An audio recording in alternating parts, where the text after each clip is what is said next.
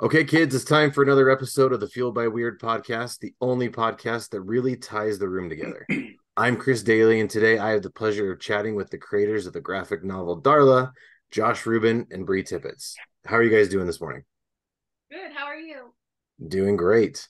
Josh, how are you? Very, very well. Thanks, man. Thank you.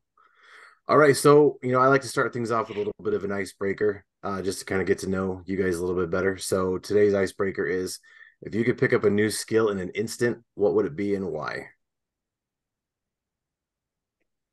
Uh, lock picking because Yeah. you know, just in case you get locked out, as I've locked myself out of my own house so many times. Oh, dude, same. Um, I don't have to break a, a I don't have to break a, a panel window and slice my wrist trying to open the door. Um, or just flying, you know, just flying like a superhero. If that's something you pick up, that'd be pretty rad. And then maybe you can catch an, a, a UAP or something. There you go. Bri, what about you? um, I would have to say ventriloquism because I tried learning when I Oh, was a nice. and I just I there were certain letters I could never figure out. That's that's that's a tough one. That's fair. Um, I think for me, there's so many for me, but I think I'd agree with you, Josh, with lock picking. I I have a spare key that a hide a key I keep outside of my house, but I recently had my locks changed because we got new doorknobs and I forgot to put it back outside. So there's been some times where I've walked right out and thought, damn it. now I have to pop the windows out and do all, all this crazy. yeah, It's it's awful. Ethan yeah. Hunt stuff. Yeah. Yeah, that's a good one. All right. So for the Fueled by Weird podcast, the concept is really, you know, the things that you're interested in or what or what makes you who you are, and you know, for lack of a better term, what fuels your weird. So what is it that you guys are into that that fuels your weird? What is it that you guys like to do when you're not when you're not comic booking? Oh, yeah. Um, I mean, I guess reading other comic books or watching films. I also um have picked up saxophone again, which I played as a kid because my Oh, husband nice. guitar, so kind of tried Oh, again. That's awesome. lately it's been a lot of comic book reading. God, I I I, I want to uh I want to say that I have some like extra fun kind of obscure skill, but it's so I feel like such a workaholic. Um or I guess right now strikeaholic. There's been a lot of striking going Yeah. on. Two of the three unions I'm in are on strike. So when I'm not like yeah, reading my stack of comics and trying to find myself in the in, in nature just to uh, forget about how um, how much of an upheaval we're living in right now. Uh, that's that's what I do. Although lately I've been like deep diving on UFO conspiracy stuff because of the testimony from the other day, where everybody's just like so wrapped up in, of course, the strife of their own lives as they should be. But it just seems like an, an opportune time for aliens to make themselves known and real. Everyone's like, "Yeah, cool. I need health insurance anyway." Um, Yeah, seriously. I mean, like you said, you know, right now, escaping reality is kind of the best thing to do because reality kind of Yeah. sucks right now, to be perfectly honest. Yeah. So, I mean, whatever you could do to kind of keep your inner peace and keep your keep your happiness, that's kind of a that's not a bad thing at all. yeah, amen. And and revisiting stuff from your childhood, that's something I'm super big on, Bri. So that's awesome that you're picking it up again. oh, thank you. Yeah, it's been Yeah. uh, challenging because it's like not like riding a bike again, but it's fun. Oh, for sure. Yeah, definitely. All right. Well, um, I want to now shift into kind of what got you guys inspired to do what you're doing now. So, Josh, uh, we'll start with you. Um, what is it that got you inspired to become a writer in the first place? to become a writer was kind of uh i mean i guess to become a writer like professionally it felt sort of by necessity because by the time i was doing it professionally um it was almost by force by necessity i was uh i was a cast member on staff director at CollegeHumor and i was encouraged to start also writing which is something i just didn't really do formally, which is odd because I did it vocationally, or what felt like vocationally with buddies, you know, with my sketch group, Yeah. and all the time as a kid writing scary stories and that kind of thing.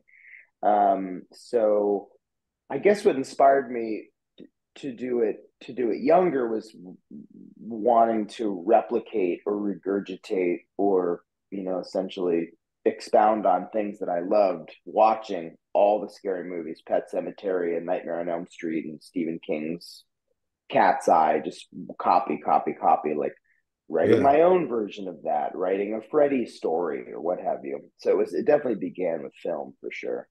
Right on. That's cool. And Bri, what was it that inspired you to become an artist?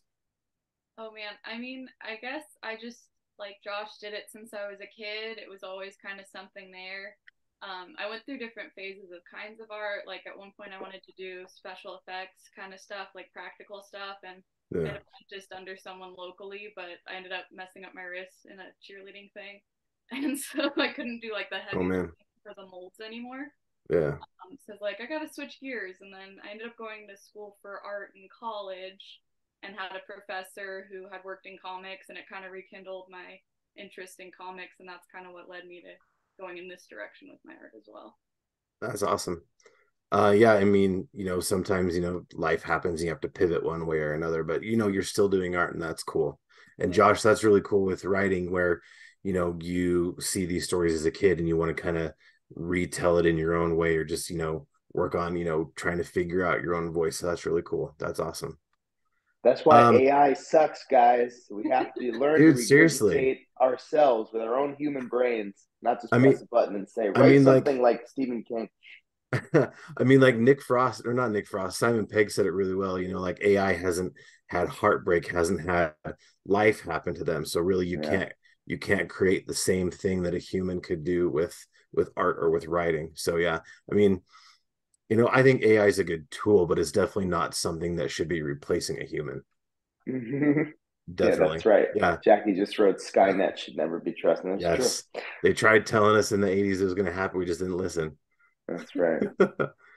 All right. Um, so, you know, we'll start with you this time, Bri. Um, when you're coming up with ideas for something, you know, it's something you're drawing, something you're creating, you know, where do your ideas come from? Um, I'd like to say I'm like good at being uniformed and thinking of it like like just having it, but I feel like it takes like going outside and kind of like letting your mind wander and then you can kind of gather things or watching enough films you can gather kind of like some creepy ideas. Um, or just like honestly, as frustrating as it can be sometimes sitting with your sketchbook long enough and you have a couple dud drawings, but eventually something comes out that you want to recreate. So just like working through stuff. Yeah, for sure. I mean, you know, as uh, aspiring writer myself, um, part of the process is just staring at the blank page forever. Josh, I'm sure you're familiar with this too, where you just sit at the blank page and mm-hmm. just stare. I mean, you could spend three and a half hours staring at this, and then you know, spend a half hour. You write five sentences, and then you're done. And that's something I saw a meme with Taika Waititi where he, you know, said part of the process is just staring at a blank screen and just crying and being upset and sad and frustrated, and then there there's some art there. So that's cool. Um josh what about you? Where do you get your ideas from? Yeah it's everywhere. I mean pretty much I, they come to me pretty much when i'm not certainly when i'm not staring at the screen like on the walk or the shower thinking about almost anything else a lot of driving too. It's like i'm driving around listening to podcasts. I get super inspired listening to one of my favorite um, interview shows is postmortem with with Mick Garris, which I, I, was lucky enough to be a part of a couple of years ago. Um, because he he talks to other writers about process, and so hearing other writers, like if it's like Ari Aster, Flan- Mike Flanagan, or Oz Perkins, um, there's a lot of uh, I guess there's a lot of male filmmakers, writers in our community, unfortunately. So there's been a lot. It's like a lot of Caucasian male horror creators. Hi, Josh um, I mean, every guest he's had, listening to them unpack their writing process is super inspiring. So sometimes that will catalyze something for me.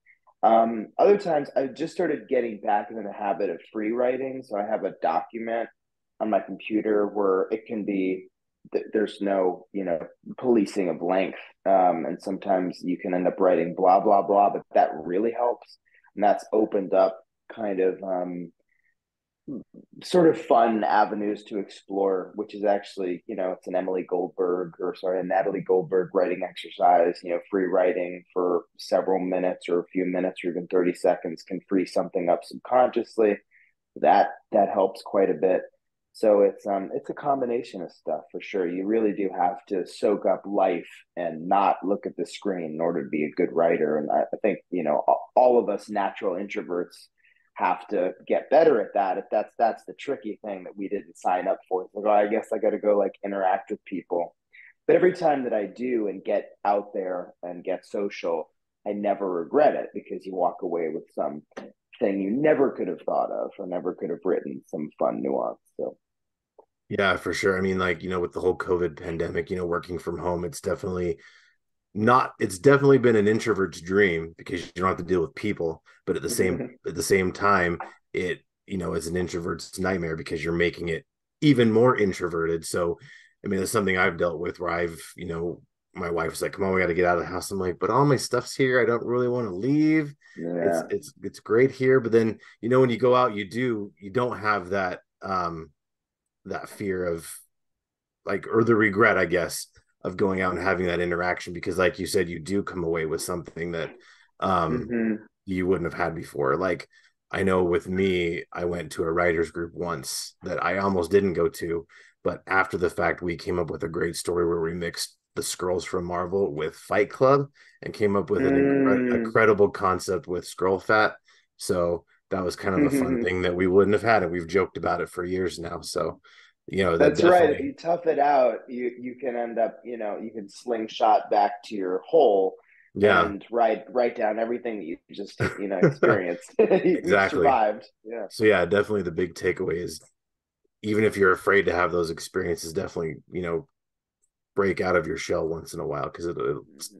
you never know what'll come from that mm-hmm. that's awesome all right so the reason we're here today we want to talk about darla the comic that you guys created together and Darla was a trip. That I it was it was incredible. Like it, it messed with my mind. I didn't know where we were going. And by the end of it, it totally had me twisted. And it was something I never even saw coming. So how did you come up with the idea for Darla? Well, it was originally intended to be a film, which, you know, uh, they say in the comic book community is a bit taboo. You know, you intended for this to be a film, but you can't get off the ground. So you're to like come to us or you're to come to our community or come into this medium and, you know, wipe off the cobwebs and transcribe it. Um, so I thought of it as a kind of Ari Aster esque uh, Stephen King inspired kind of tale. It's almost kind of an EC Comics sort of story, um, as was pointed out to us in a recent interview, and it just kind of blew my mind. It's like, oh shit, it is kind of like a Tales from the Crypt like story in its own way with this sort yeah, of anti-hero that. that goes through the the supernatural shit. Um, so yeah, I, th- I think it it was inspired by I guess my love of the Babadook and the Dead Zone, and also wanting to explore kind of an irritable, small town, slightly elderly character, which you don't often get to see in the context yeah. of supernatural and and what have you. And um, when I, it was a combination of you know Bri having like tagged me or sending me fan art for some of my films, um, and looking into Bri's work, where I sort of went, "Holy shit, this."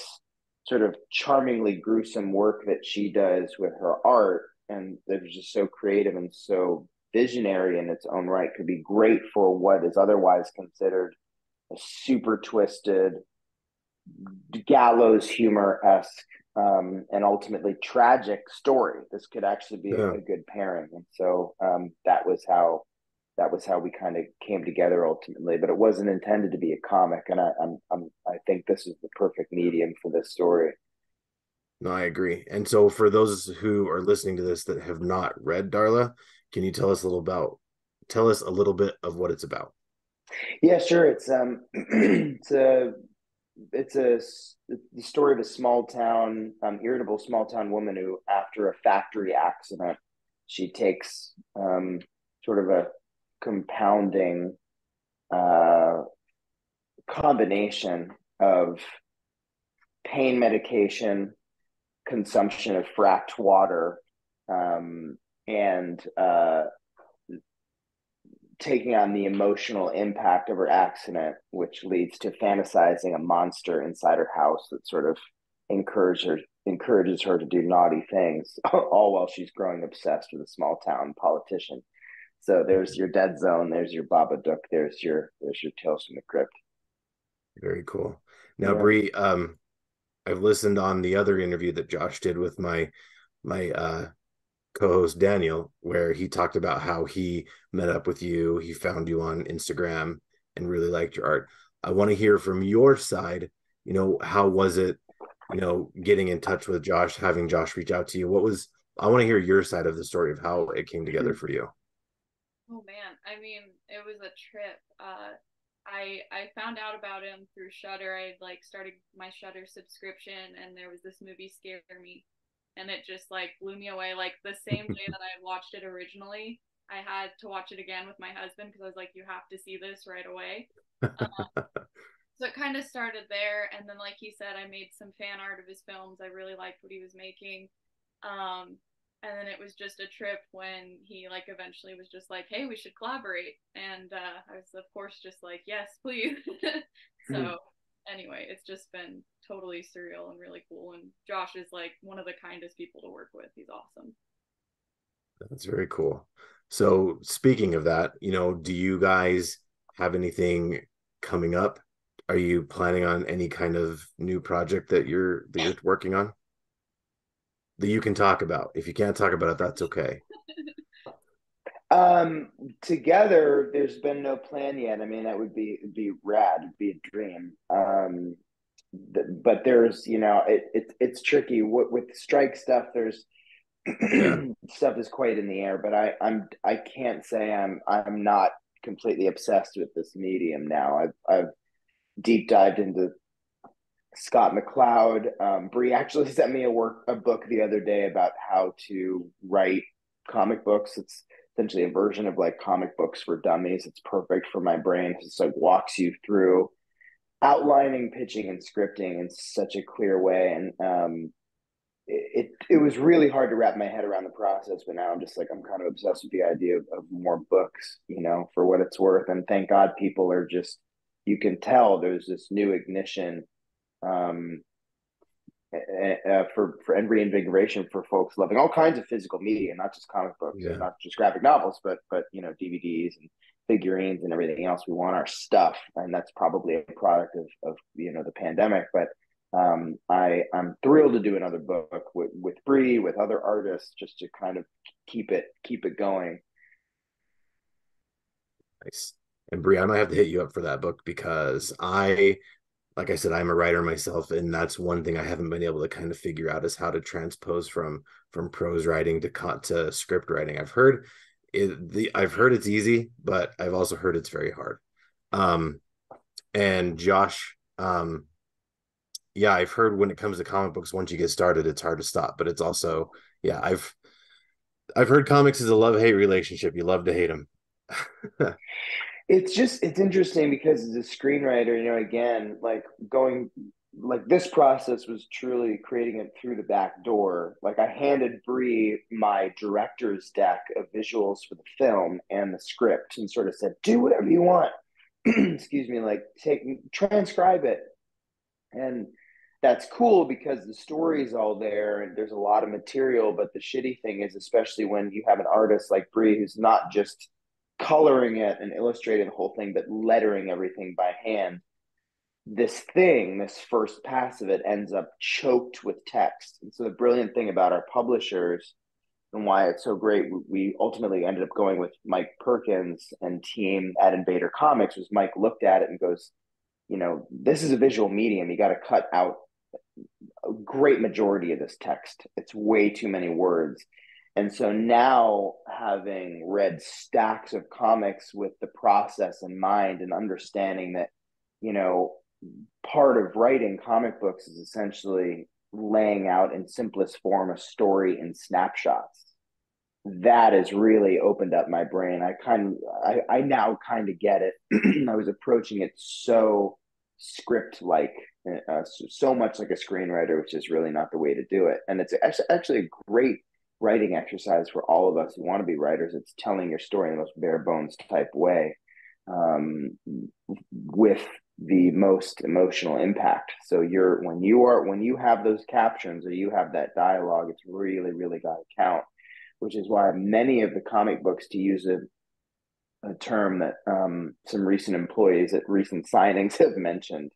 Many comics are quote unquote mid.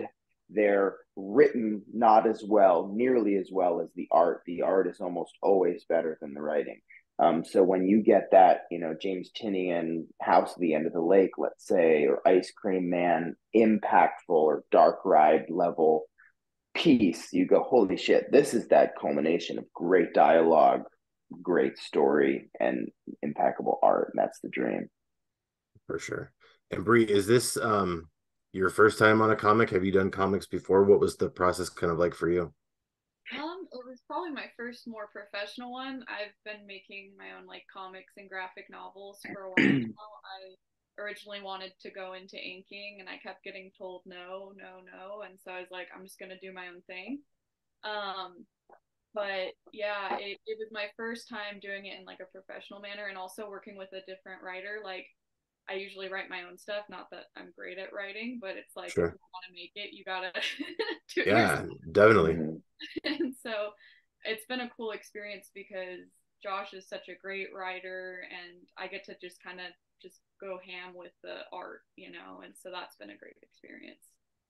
Awesome. Yeah, definitely taking a bet on yourself has proved more successful than not. So that's cool that you you decided to go on your own, even though so many people told you not to. And and look where it's gotten you. It definitely paid off for sure.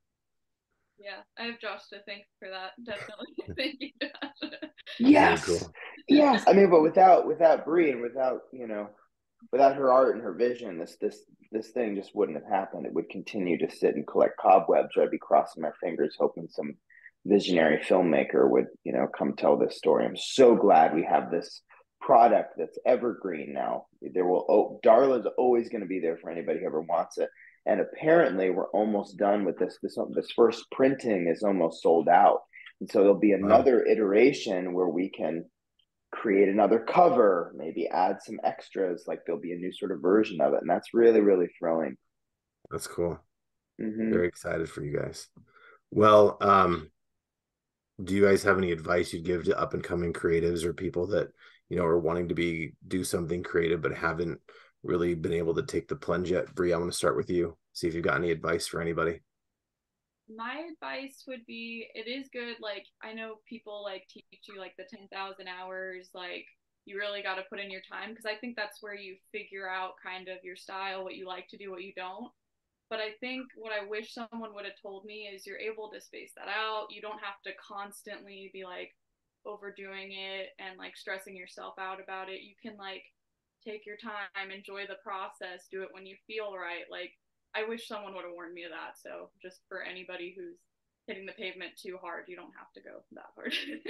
hmm. That's that's good advice. Josh, what about you? Um, you know, they always say like read everything and write as much as you can, certainly to be a good writer. But I, I would just to kind of circle back thematically to our conversation, just in general, is getting out there and not just focusing on creating an output, um, like living your life and putting down the screen and taking the walk and interacting with people, especially people that are like minded, that love that love what you love, that love fantasy or drama or certain types of you know any type of media um, find your contemporaries and just like build relationships with them that's that's exactly how i um, how i started and how i ended up in the position that i'm in is, is meeting like-minded folks and and you know not just saying let's make stuff and put stuff out there but creating relationships with people I, the relationships that I began many, many years ago in summer camp, like with my buddies Sam Reich and Elaine Carroll, I'm still working with them. Um, and uh, that following that comes out of the output that we create together, you know, the audience that watches our stuff, there's also the audience that discovers Darla or Wounded Fawn or you know any number of stuff that we put out. And so it's this cyclical thing that hopefully we can inspire other people. So just as important as the output is like getting out there living your life and like making relationships with people that are like oh shit you do what i do yeah it's definitely helpful especially you know when you find people that do the same thing you do you can create that kind of support system for on days where you're feeling like i really don't know if i could do this you're like yeah let's go do it you can absolutely mm-hmm. do it mm-hmm. It's mm-hmm. definitely creating by yourself is not nearly as fun as creating with other people.